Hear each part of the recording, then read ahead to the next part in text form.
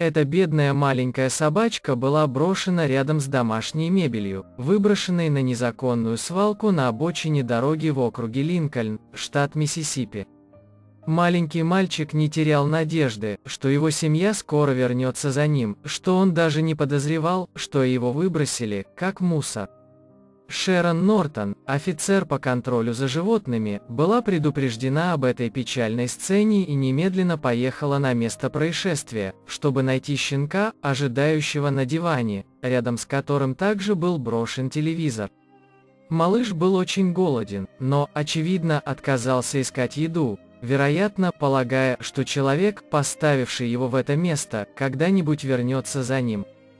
По словам Шерон, собака пролежала там неделю, потому что от нее остались только кожа до кости. Женщина подошла к собаке, заверив ее, что она здесь, чтобы помочь ему.